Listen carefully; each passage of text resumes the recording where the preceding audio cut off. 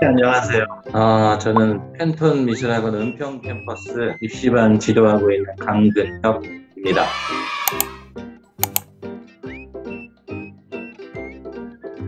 어, 저는 문제를 보자마자 그냥 일단 만약에 우리가 여행을 가서 저렇게 드넓은 초원에 갔을 때 어떤 커다란 조형물이 있고 그러면은 얼마나 기분이 좋을까 하는 그런 생각을 먼저 하고 거기에 어울리는 게 뭐가 있을까 하고 생각하다가 우리나라 춤 중에서 승무라고 있어요. 승무 막, 이상한 천 같은 거 두르고서 이게 추는 춤인데 그 승무를 보면은 손에다가 되게 긴천 같은 것들을 두르고 있어서 바람의 이미지가 되게 잘 나타나 보이거든요. 그래서 저런 이렇게 넓은 들판 같은 데를 가면은 일단 제일 먼저 느껴지는 게 바람이기 때문에 그 바람의 이미지를 좀 잘 나타낼 수 있는 그런 조형물이 뭐가 있을까라고 생각을 하다가 우리나라 대표적인 그런 중에서 승무를 하고 있는 그런 조형물을 설치를 해놓으면 어, 바람의 이미지가 좀 더 잘 보일 수 있겠다 싶어서 그런 조형을 선택을 한 겁니다. 일단 뭐 바람을 나타내고 싶어서 그렇게 선택을 한 거예요. 그거를 뭐 이제 찾아보고 제가 직접 동작을 해보면서 스케치를 해본 겁니다.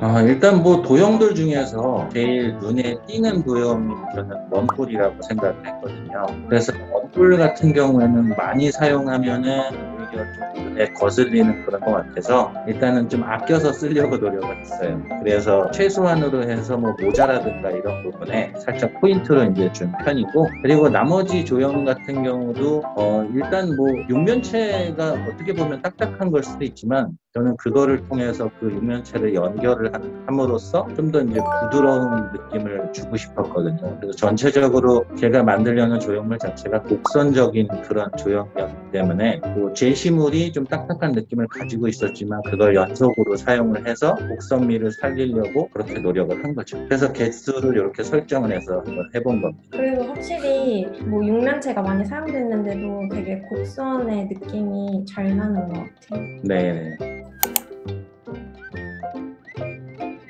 어, 그렇죠. 근데 유리, 유리랑 이제 금속 재질을 제가 복합적으로 이렇게 해서 했는데, 어, 그것도 이제 마찬가지로 언덕 위에 만약에 저렇게 커다란 조형물이 있을 때 가장 이제 멋진 재질감이 뭐가 있을까를 생각해 봤는데, 아무래도 유리나 금속으로 돼 있으면 빛을 잘 반사시킬 수 있고 굴절도 되면서 멀리서 봐도 반짝거리는 느낌이 나서 옆에 가서 사진 찍고 싶다 이런 마음이 들 것 같아서 그냥 재질감을 그걸로 선택한 겁니다. 다른 그림들 보니까 나무 재질 을 청색 계열로 표현하고 그런 그렇죠. 색감으로 써도 어울리지 않죠. 어색해 보이는데 이거는 유리 재질이라 되게 자연스럽게 된 것 같아요. 어, 이거는 이제 뭐 소실점 자체를 나타내려면 사실 푸시도법을 사용할 수밖에 없어요. 근데 제가 그린 조형물 자체가 푸시도법에 크게 연관성이 없는 정도로 이렇게 각도가 여러 가지로 틀어져 있거든요. 그래서 이제 굳이 소실점에 얽매일 필요가 없겠다는 생각을 오히려 했어요. 그냥 도형을 만약에 소실점을 나타내기 위해서 도형을 그린다면은 정말 평행 이동을 하면서 딱딱하고 재미없는 그런 건축물 형태밖에 안 나올 것 같아가지고 오히려 이게 함정일 수도 있겠다 싶어서 그냥 소실점을 처음부터 생각하지 않고 그냥 그 조형물을 먼저 그려놓은 다음에 크기 갖다가 이제 뒤쪽에 좀 작게 있고 앞쪽에 좀 확대해서 커지고 그런 걸로 깊이감을 그냥 나타내면서 소실점이 여기 있겠구나 하고 연상할 수 있게 그렇게 일단 해놓은 겁니다. 그래서 크게 않고 그렸어요.